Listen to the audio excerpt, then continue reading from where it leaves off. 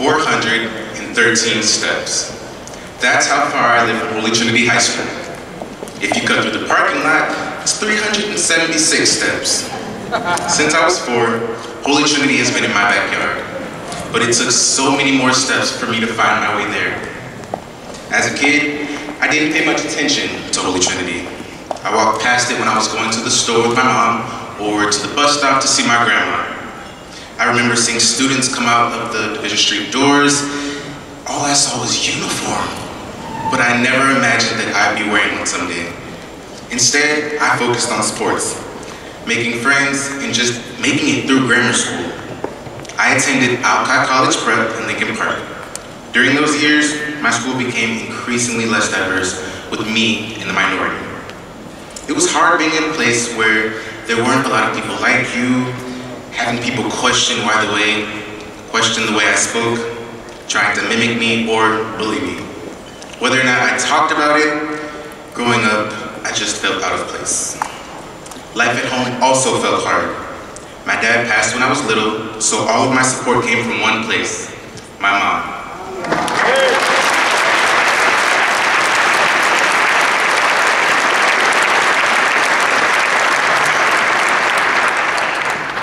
She worked long, hard hours to provide for my brother and me, and I'm incredibly grateful for her sacrifices.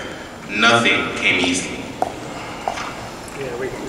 My older brother wasn't the most jubilant person in our home, and his chipper attitude only increased when my mother was injured on the job and could no longer work. So, I poured my energy into playing sports.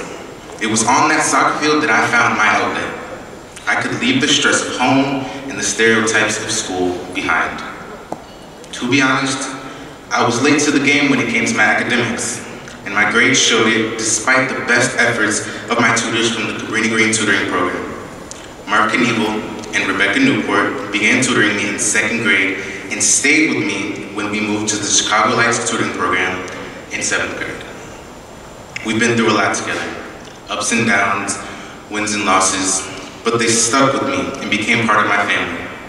It was actually Mark, Rebecca, and Alex Cornwell, a director at Chicago Lights, who showed me the way to Holy Trinity, the school in my own backyard. They saw promise in me, but knew high school would be a challenge. They knew I needed an environment where I could walk alongside people that would give me the necessary support to fulfill my potential. So they teamed up with my mom and me and sparked my interest in Holy Trinity and the Peak Scholarship Program. The first time I stepped into the doors of Holy Trinity, was for a shadow day. Now remember, all I knew about the students was that they were they wore uniforms. Uniforms everywhere, fleeces, khakis, brown shoes.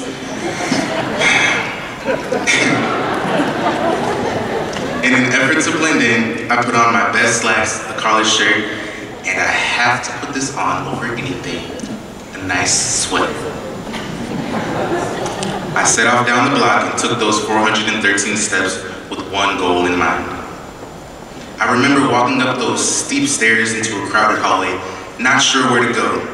The classes and students seemed so big and so new. I remember being greeted by HT's five values, excellence, discipline, integrity, zeal, and family on a big blue poster. At the time, they were just words, but today there's so much more. But we'll get to that later. My student ambassador, Markel, was one of the main reasons I chose Holy Trinity. He showed me that at HT, high school is what you make it. High school can be a hindrance filled with a hindrance filled with stress and teenage angst, or you can set your course for excellence. I also saw that Holy Trinity was a culturally diverse place, a place where I could belong, a place I felt safe. And later, I would come to find that HT is a place of widespread acceptance, and that's what makes us a family. So I took the first steps toward Holy Trinity. I applied for and was awarded a full four-year Peak Scholarship.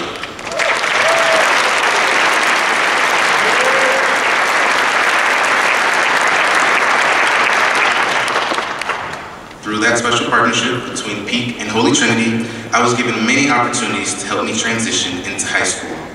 That summer, my freshman year, those 413 steps became my new routine. I attended class with the other peak freshmen. Then, on the first day of freshman orientation, I met my best friend, Brianna, one of the biggest motivators I've had throughout high school. I was receiving my first taste of what it meant to be part of the Holy Trinity family. I was also paired with the, I was also paired with the peak mentor, Tunde. This relationship is very important to me. Since I don't have a father figure, Tunde makes sure I have everything I need, from giving me a ride to lending me his ties. He checks on me every chance he gets, even when traveling for business. He FaceTimes me before finals for that one last you got this. You know, before a big test or before big corporate meeting, you need that inspired, that inspiration. But it's not all business. Of course we have fun.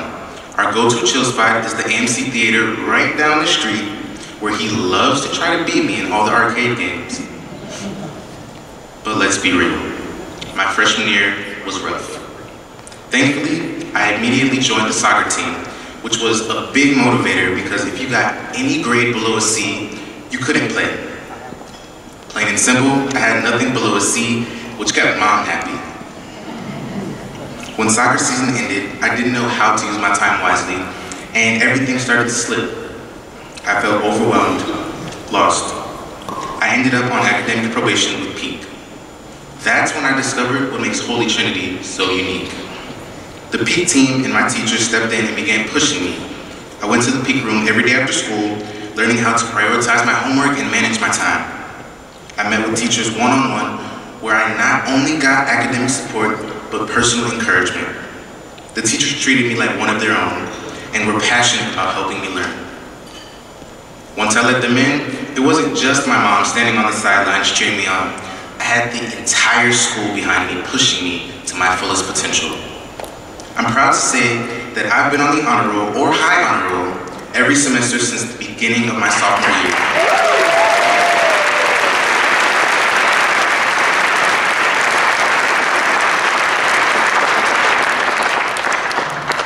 First time I earned honor roll, I was so surprised by how good it felt. But I also realized that I wasn't working this hard just to see my name on the list. Now, I was doing this for myself, proving that my time at Alcott did not and will not ever define me. I set my sights on college for the first time and finally realized how much work it would take me to get there. But this time, I wanted to do the work. It wasn't just my academics that made strides. It it's like a switch flipped inside me, really. I was able to start opening up and let other people in and walk beside me. Not only pushing me, I too pushed others towards excellence both in the classroom and on the soccer field. With my grades where I wanted them, I got to walk on the soccer field focused, more focused than ever. With my coaches, Coach Kane, who cannot be here tonight, and Coach Larry, who I talked to, recognized my drive and dedication I knew I was an important part of the team. Their confidence in me inspired me to want to be a leader. I worked diligently for the next two years to earn the respect of my teammates and my coaches.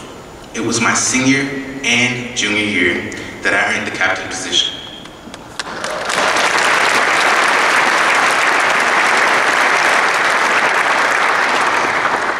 In doing so, I was finally becoming a man I could be proud of a man that would not be defined by stereotypes, a man that demanded excellence from himself and others.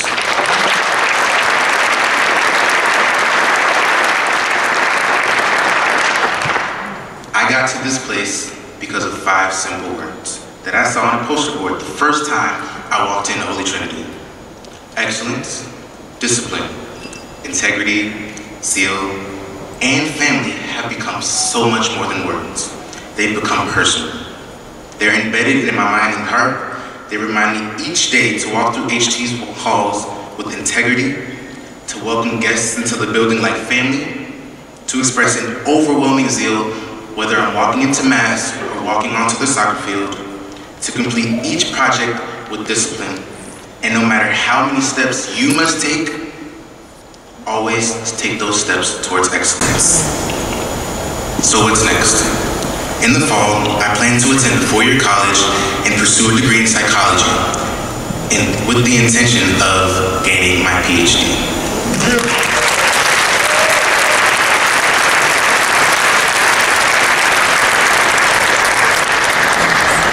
As I think back on my four years of Holy Trinity, I actually look forward to graduation. I see how far I've come. It may be, it may only be a parking lot that separates my front door and my locker, but my journey has taken me so much further. So I ask tonight, will you, like my teachers, coaches, and mentors,